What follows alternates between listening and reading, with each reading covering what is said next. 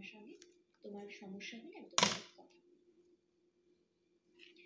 কেউ যদি তোমাকে ঠকায়, তাহলে তুমি নিজেকে ভাগ্যবান মনে করো যে তুমি ঠিক সময়ে ঠিক মানুষের থেকে দূরে চলে গেছো। একজন মানুষ, সে বিশ্বাসঘাতক, সে তোমাকে ঠকিয়েছে, এবং তোমার এই জন্য হ্যাপি থাকা উচিত যে তুমি ঠিক সময়ে একটা ভুল মানুষের থেকে বেঁচে গেছো। যদি সেই মানুষটা তোমার সাথে থাকতো, তোমার সম্পর্কে যদি কন্টিনিউ করতো ধরো তোমাদের কোনো কারণে ভুল করে তোমাদের ধরো বিয়ে হয়ে গেল। সে কিন্তু সেম জিনিসই করতো। যে ঠক যে বিশ্বাসঘাতক, সে কিন্তু সেটাই করবে। সে যে কোনো সিচুয়েশনে থাকুক, এটা কিন্তু বুঝতে হবে।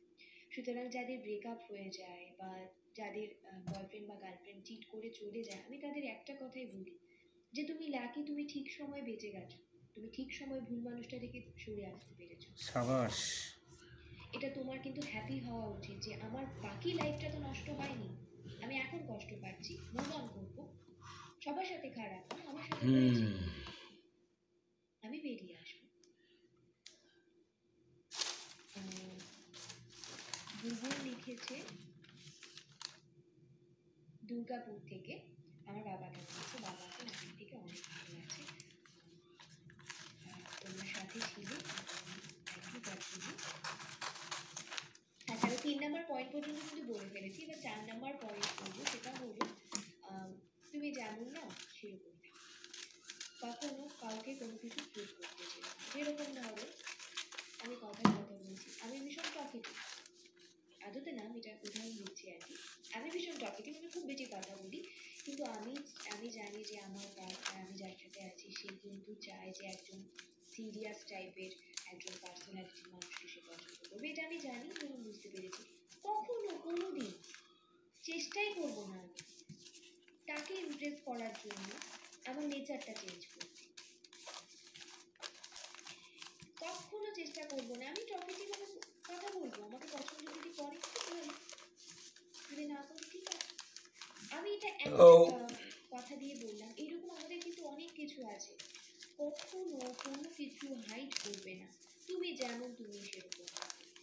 এবার অনেকে যেটা হয়, আমি বলছি যে আমার আর্থিক অবস্থা এইরকম, আমি চাই চাই না যে আমার পার্টনার জানুক খারাপ বাবা আমার আমার আর্থিক অবস্থা খারাপ, আমি চাই না আমার পার্টনার জানুক কিংবা আমি দেখাচ্ছি, আমি যেটা নই, আমি সেটা দেখাচ্ছি। এটা কিন্তু করবে না। এতে ভালোবাসা তো হয়ই না, তুমি পরে বিপদে পড়বে।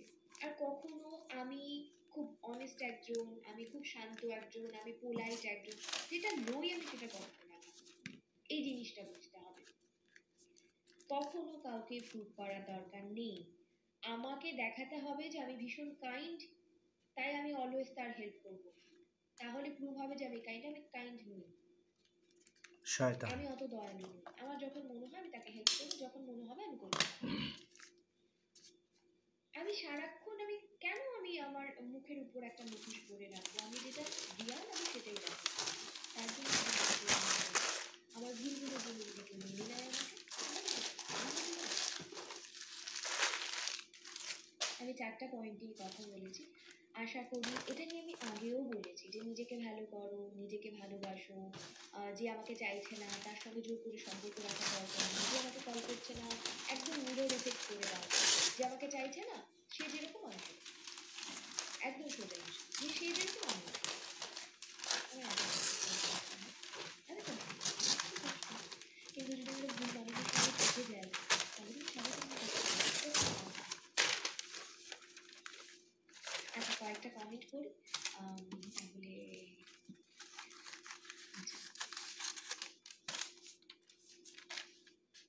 আচ্ছা অনেক লিখেছে যে কী কী জিনিস মেয়েরা পছন্দ করে সেই টপিকে ভিডিও দিতে যাতে ওদের রিলেশনশিপটা আরও স্ট্রং আমি চেষ্টা করব এরকম ভিডিও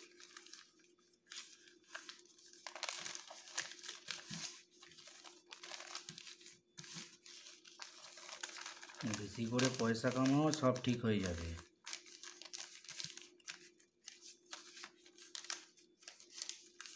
পয়সাই শেষ কথা। তোমাকে আমি বলব তোমার আমি পড়েছি তোমার পার্টনারের বাড়ির লোক কি তোমাদের সম্পর্কের কথা জানে?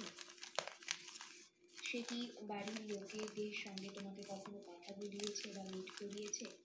কারণ বেশিরভাগ ক্ষেত্রে যখন আমরা কোনো কিছু হাইড করতে চাই ধরো আমি একটা রিলেশনশিপে কিন্তু আমি চাইছি না আমি তোমাকে নিয়ে সিরিয়াস নই আমি তোমাকে নিয়ে সিরিয়াস আমি তোমাকে চাইছি। তো আমি কখনো আমার ফ্যামিলি মেম্বারের সঙ্গে তো দেখা করাবো না, কথা বলাবো না। এবার পারো তো পক্ষে আমি তোমাকে হাইড এমনভাবে করব যে তোমার বন্ধু বান্ধবরাও না জানে যে তোমার সাথে আমার রিলেশনশিপ আছে কারণ আমি তো সিরিয়াস নই তোমাকে যদি এরকমটা হয় সে যদি তোমাকে তোমার তার বন্ধু বান্ধব থেকে হাইট করে তার ফ্যামিলি থেকে হাইট করে তুমি এটা নাইনটি পার্সেন্ট ক্ষেত্রে আমি দেখেছি তুমি এটা লিখে রাখতে পারো যে সে তোমাকে না সিরিয়াসলি নিচ্ছে না। সে সম্পর্কটাকে সিরিয়াসলি নিচ্ছে না। হয়তো তোমার সাথে কথা বলতে ভালো লাগে তাই কথা বলছে।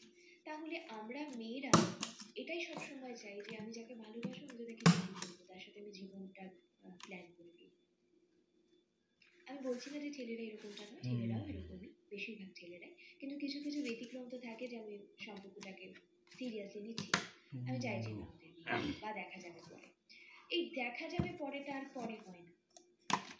কারণ আমরা মেয়েরা বা প্রত্যেকটা মানুষ লাইফে স্টেবিলিটি চাই আমি যার সাথে থাকব তার সাথে সবসময় থাকব। এইরকম মানসিকতা নিয়েই কিন্তু বেশিরভাগ মানুষ রিলেশনশিপে আসে। সেক্ষেত্রে তোমার যদি মনে হয় যে সে তোমাকে সিরিয়াসলি নিচ্ছে না তোমাদের রিলেশনশিপটা সিরিয়াসলি নিচ্ছে না পরের দিন যতই রাগ ভাঙানোর চেষ্টা করুক তুমি এই জায়গাটা বুঝে যাও এবং সরে আসো যে মানুষটা তোমার সাথে থাকবে না ভবিষ্যতে দেখো ব্রেকআপ তো অনেক কারণে হয়, সেটা তো হয়ে যায়।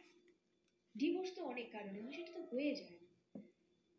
কিন্তু তুমি যখন নিজে থেকে বুঝতে পারছ যে এটা হবে না, চলবে না, তখন তুমি নিজেই বেরিয়ে আসো। চেষ্টা। চেষ্টা করলেই মাথায় উঠে যাবে। নিজেকে বেশি দামি মনে করবে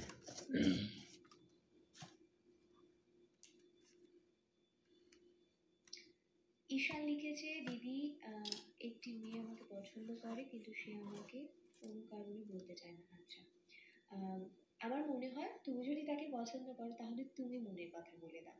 কারণ আমি কাউকে ভালোবাসি বা আমি কাউকে পছন্দ করি, এটা বলে তো ক্রাইম ক্রাইম এটা তো অপরাধ।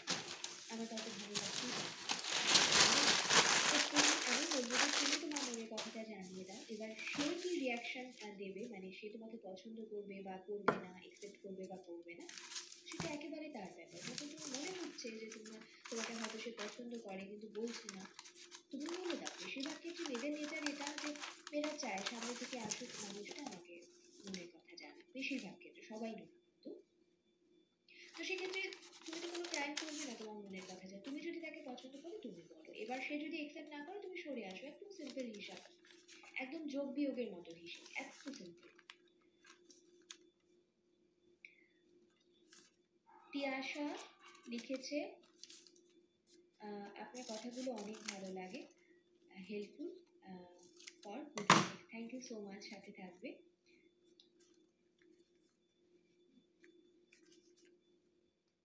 একতরফা ভালোবাসা আসলে ভীষণ কষ্টের একটা সিচুয়েশন আমি শুধু ভালোবাসি আমি শুধু ভালোবাসবো আমি শুধু চাই মানুষটা কিচ্ছু যায় আসে আপনার প্রথমত ভালোবাসু ভালো, আপনি ভালোবাসেন, কিন্তু ব্যাপারটাকে একসেপ্ট করা উচিত আপনি শুধু ভালোবাসেন সে বাসেন সুতরাং আপনার কিচ্ছু করার নেই, আপনি ফোর্স করতে পারবেন না কাউকে যে আমাকে ভালোবাসো বলতে পারবেন তো সেক্ষেত্রে সরে আসতে হবে, তুমি হয়তো দূর থেকে দেখতে পারবে যে ভালোবাসার মানুষটি, কিন্তু তোমার লাইফেও এমন একজন মানুষ আসবে যে তোমাকে অনেক বেশি ভালোবাসবে, যতটা তুমি তাকে ভালোবাসো তার থেকেও বেশি ভালোবাসবে তখন দেখবে সব কিছু ঠিক হয়ে যায়। তুমি কাউকে জোর করতে পারবে না তবে তুমি কাউকে ভালোবাসলে মনের কথা জানাতে পারো তারপর তার থেকে দূরত্ব বজায় রাখতে পারো। তার যদি ওয়ান পার্সেন্ট ইন্টারেস্ট থাকে সে নিজেই তোমার কাছে আসবে।